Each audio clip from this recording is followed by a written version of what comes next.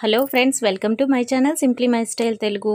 ఈరోజు వీడియోలో shape belt అనేది జాయింట్ చేసిన తర్వాత ఫ్రంట్ బ్యాక్ ఈక్వల్గా రావడం లేదు అంటున్నారండి చాలామంది. బిగినర్స్ అయితే ఈ ప్రాబ్లం అయితే ఎక్కువగా ఫేస్ చేస్తున్నారనమాట దానికి సొల్యూషన్ అయితే మనం ఈ వీడియోలో చూద్దాము. ఇప్పుడు నేను చెప్పినట్టుగా కటింగ్ అనేది చేస్తే మీరు ఫ్రంట్ బ్యాక్ ఈక్వల్గా వస్తుందన్నమాట. ఫస్ట్ బ్యాక్ పార్ట్కి మీరు నడుం పట్టి అనేది జాయింట్ చేసేసుకోండి. మామూలుగా. ఇంకా మనకి బ్యాక్ పార్ట్తో సంబంధం లేదు. ఇప్పుడు ఫ్రంట్ బ్యాక్ ఈక్వల్గా రావడం లేదని వాళ్ళకి ఇప్పుడు ఈ వీడియో చూస్తే ఇప్పుడు నేను ఈ వీడియోలో ఏ విధంగా అయితే చెప్తున్నానో ఆ విధంగా మీరు గనక షేప్ బెల్ట్ అనేది కటింగ్ చేసుకున్నారనుకోండి అసలు చిన్నది కూడా తేడా రాకుండా మీరు కరెక్ట్గా ఫ్రంట్ బ్యాక్ ఈక్వల్ అవుతుందన్నమాట. ఫస్ట్ బ్యాక్ పార్ట్ ఇంకా మనకి సంబంధం లేదు. డాట్స్ వేసేస్తాము నడుం పట్టి వేసేస్తాము బ్యాక్ పార్ట్ అనేది రెడీ అయిపోతుంది. తర్వాత ఫ్రంట్ సైడ్ ఎలా మెజర్ చేసుకోవాలి? అదంతా క్లియర్గా చెప్తానండి. బిగినర్స్కి అయితే చాలా బాగా యూజ్ అవుతుందన్నమాట.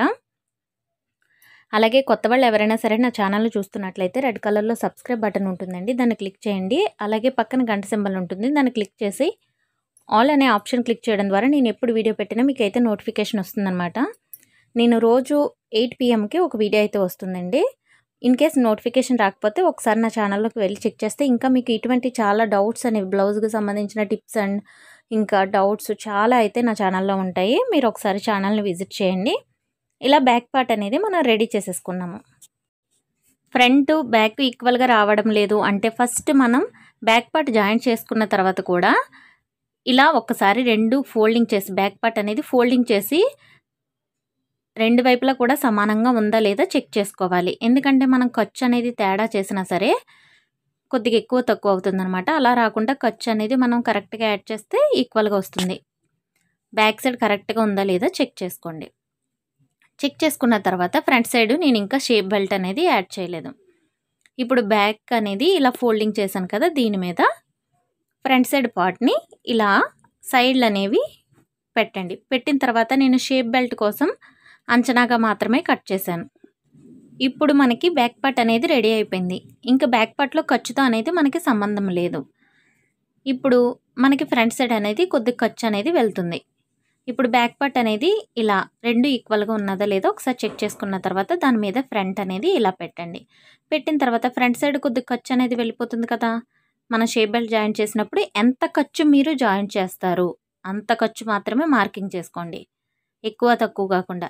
ఆ ఖర్చు వరకు ఫోల్డింగ్ చేసిన తర్వాత మీకు ఎంత ఉందో చూడండి బ్యాక్ పార్ట్లో ఎంత ఉంది కరెక్ట్గా ఇక్కడ వన్ అండ్ హాఫ్ ఇంచ్ ఉంది. ఫ్రంట్ సైడ్ ఖర్చు పోను మిగిలింది వన్ అండ్ హాఫ్ ఇంచ్. అదొక్కటి గుర్తుపెట్టుకోండి. ఇలా అయితే మీకు అస్సలు ఎక్కడ షేప్ బెల్ట్ అనేది తప్పే రాదండి.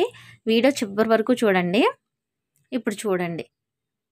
ఇక్కడ ఖర్చు ఫ్రంట్ సైడ్ కొద్ది ఖర్చు పోతుంది కదా ఆ ఖర్చు వదిలేసి మొత్తం బ్యాక్ పార్ట్ వరకు ఎంత ఉందో చూడండి. వన్ అండ్ హాఫ్ ఇంచ్ ఉందనమాట బ్యాక్ సైడ్ మనకు సంబంధం లేదు. బ్యాక్ పార్ట్ అనేది రెడీ అయిపోయింది ఇంకా. ఖర్చుతో సహా రెడీ అయిపోయింది.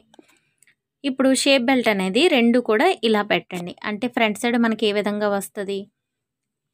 అలా రెండు ఎదురెదురుగా ఫస్ట్ అడ్జస్ట్ చేసుకోండి. అంటే లైనింగ్ పెడతాం కదా లైనింగ్ పెట్టేసి ఒరిజినల్ పీస్ పెట్టి ఇలా బ్లౌజ్ మీదకి మనకి ఎదురెదురుగా ఎలా వస్తుందో అలా పెట్టేసి ఫస్ట్ ఏ క్లాత్ అయితే పెడతాం ఫస్ట్ రెడీ చేసుకోండి. ఇంకా కొలతలు ఏం చెప్పడం లేదు. ఫస్ట్ ఇలాగా రెడీ చేసుకున్న తర్వాత మనం కొద్దిగా ఎక్కువగానే తీసుకున్నాం అనమాట అంచనాగా తీసుకున్నాం మామూలుగా. కొలతలు ఏం లేవు. ఇలా తీసుకున్న తర్వాత ఇప్పుడు ఈ సైడ్స్ అనేవి స్టిచ్చింగ్ చేసేయండి. చేసిన తర్వాత ఈ ఎడ్జెస్ అనేవి కట్ చేసేయండి. కట్ చేసిన తర్వాత ఒరిజినల్ మీద రెండు లైనింగ్ పీసులు అనేవి పెట్టామన్నమాట. ఇప్పుడు చూడండి. ఈ ఎడ్జెస్ కట్ చేసిన తర్వాత కొలత అనేది ఎక్కడ తీసుకోవాలి అనేది చెప్తాను. మనకు వన్ అండ్ హాఫ్ ఇంచ్ వచ్చింది కదా అది గుర్తుపెట్టుకోండి. ఇప్పుడు లైనింగ్ని ఇటువైపుకి టర్న్ చేసిన తర్వాత లైనింగ్ మీద కుట్టు వచ్చేలాగా చూసుకోండి.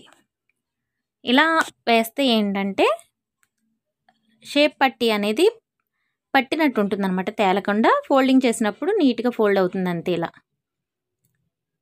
ఇలా మామూలుగా షేప్ బెల్ట్ అనేది రెడీ చేసుకోండి. మీరు మీ పద్ధతిలో ఎలా రెడీ చేస్తారనేది రెడీ చేసేయండి. చేసిన తర్వాత ఇప్పుడు షేప్ బెల్ట్ని ఒకదాని మీద ఒకటి ఇలా పెట్టి చూసుకోండి. ఫ్రంట్ వైపు బ్యాక్ రెండు ఈక్వల్గా వచ్చేలేదో చూసుకోండి. ఫ్రంట్ సైడ్లు రెండు సమానంగా వచ్చేలేదో చూసుకొని ఇప్పుడు చూడండి. ఒకటిన్నర ఇంచు అనేది మనకు వచ్చింది కదా. ఈ సైడ్ల దగ్గర ఒకటిన్నర ఇంచు వచ్చేలాగా మార్కింగ్ చేసుకోండి. తర్వాత దీనికి కూడా ఖర్చు కావాలి కదా? షేప్ బెల్ట్కి కూడా ఖర్చు కావాలి కదా ఇప్పుడు? మనకి జాయింట్ చేయడానికి ఆ ఖర్చు ఎంతైతే జాయింట్ చేస్తారో అంత మార్కింగ్ చేసుకోండి. మనకి ఫ్రంట్ సైడ్ ఖర్చు పోను వన్ అండ్ హాఫ్ ఇంచ్ వచ్చింది కదా. అలాగే దీనికి కూడా ఆ మిగిలిన one and half inch marking చేసుకొని ఖర్చు మరి ఈ షేప్ బెల్ట్ జాయింట్ చేయడానికి కూడా ఖర్చు కావాలి కదా. ఆ ఖర్చు ఎంత అయితే అంత మార్కింగ్ చేసుకోండి. హాఫ్ ఇంచా పావు ఇంచా లేకపోతే నాలుగు గీతల వరకు మీ ఇష్టం. మీరు ఎంతైతే మార్కింగ్ చేసుకుంటారో అదే అక్కడ జాయింట్ చేయాల్సి ఉంటుంది. ఇలా అనమాట వన్ అండ్ హాఫ్కి ఖర్చు కలిపేసి మార్కింగ్ చేసుకోండి సైడ్లు.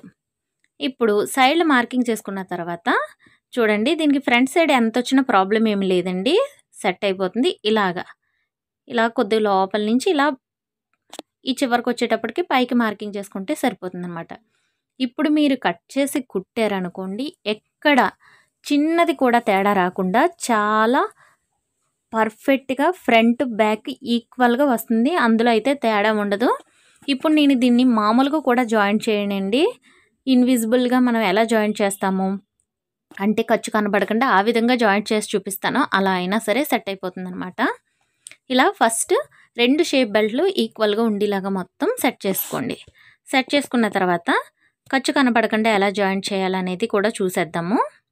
తర్వాత ఈక్వల్గా వచ్చేయా లేదో కూడా మీరు చూడండి. ఇలా మనకి రెండు షేప్ బెల్ట్లు అనేవి రెడీ అయ్యాయి. ఇప్పుడు చూడండి ఫ్రంట్ సైడ్ జాయింట్ చేసేటప్పుడు ఇలా పెట్టాలి. చూడండి ఒరిజినల్ మీద ఒరిజినల్ ఇలా వచ్చేలాగా ఫస్ట్ లైనింగ్ని వెనక్కి వేసి జాయింట్ చేయాలన్నమాట. ఇక్కడ చూడండి షేప్ బెల్ట్ దగ్గర కొద్ది కార్నర్లో చిన్న ముక్క అనేది సైడ్కే వదలాలన్నమాట. ఎడ్జ్ నుంచి జాయింట్ చేసి రాకూడదు. ఇక్కడ డాట్ అనేది ఇలా లోపలికి ఫోల్డింగ్ చేయాలన్నమాట. డాట్ మీద కుట్ అనేది వేయకూడదు. లోపలికి ఫోల్డింగ్ చేసినా పర్వాలేదు. ఫోల్డింగ్ చేయకుండా డాట్ని సైడ్కి తోసినా పర్వాలేదు అనమాట కానీ డాట్ మీద మాత్రం కుట్టు వేసుకుంటూ వచ్చేయకూడదు. అలా అయితే షేప్ లాగి పెట్టినట్టు ఉంటుంది. ఇలా కుట్టు వేసేసిన తర్వాత చూడండి ఇలా లోపలికి ఇలా ఫోల్డింగ్ చేసి ఇక్కడ ఖర్చు వస్తుంది కదా ఈ ఖర్చు ఈ ఖర్చు కలిపి పైనుంచి కుట్టు అనేది వేసేయాలన్నమాట. ఇలా వేస్తే మనకి ఖర్చు అనేది లోపలికి వెళ్ళిపోతుంది. ఖర్చు కనబడదనమాట షేపట్టి దగ్గర ఇప్పుడు అదే నీట్గా ఉంటుంది కదా అలాగా. ఖర్చు కనపడకుండానే అందరూ ప్రిఫర్ చేస్తున్నారు కాబట్టి ఇది కూడా నేర్చుకోవడం చాలా ఇంపార్టెంట్ అనమాట ఇప్పుడు ఈ పద్ధతిలో ఫాలో అయ్యారనుకోండి ఇంకా మీకు అస్సలు ఎక్కడ తప్పు అనేది రాదనమాట షేప్ బెల్ట్ అనేది ఫ్రంట్ బ్యాక్ ఈక్వల్గా వస్తుందన్నమాట. ముందే కట్ చేసి పెట్టుకోవాలని రూల్ ఏం లేదు కదండి. మనం తర్వాత కరెక్ట్ కొలత చెక్ చేసుకొని కట్ చేసుకున్నా సరిపోతుంది. ఫస్టే షేప్ బెల్ట్ అనేది జాయిన్ చేసేసి తర్వాత బ్యాక్ పార్ట్ జాయిన్ చేసి ఇలా కంటే ఫస్ట్ బ్యాక్ పార్ట్ రెడీ చేసుకొని ఈ విధంగా ఎంతైతే కావాలో అంతవరకు జాయిన్ చేసుకున్నారనుకోండి ఎక్కడ ఎక్కువ తక్కువ రాదనమాట. చూడండి ఫ్రంట్ బ్యాక్ ఈక్వల్గా వచ్చింది. ఇప్పుడు ఇది కూడా జాయిన్ చేసి చూద్దాము. ఇలా అనమాట. ఖర్చు కనబడకుండా జాయిన్ చేసి పద్ధతి ఒకసారి గమనించండి మీరు. ఇక్కడ ఒరిజినల్ పీసు ఇలా అనమాట ఇక్కడ ఈ కార్నర్ అనేది కొద్దిగా చూపించాను కదా అది కొద్దిగా సైడ్కే ఉంచాలి. అలా సైడ్కి ఉంచే జాయింట్ చేయాలన్నమాట.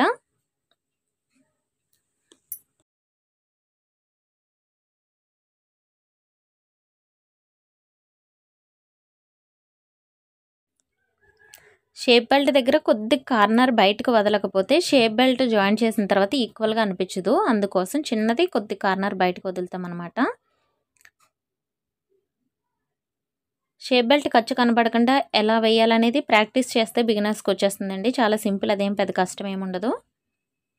ఇప్పుడు ఇలా పెట్టిన తర్వాత ఇలా ఫోల్డింగ్ చేసి మనకి ఫోల్డింగ్ చేయగానే ఇక్కడ ఖర్చు కనిపిస్తుంది కదా ఈ ఖర్చుని ఆ ఖర్చుతో జాయింట్ చేసేయడమే ఆ లైనింగ్ పీస్తో. జాయింట్ చేసేటప్పుడు కూడా ఒరిజినల్ పీస్కి మనం క్రాస్లో కొద్దిగా ఎలాగ వదిలేమో అలాగే లైనింగ్ కూడా క్రాస్లో వదలాలి రెండు ఈక్వల్గానే వదలాలన్నమాట. అదొకటి గమనించండి.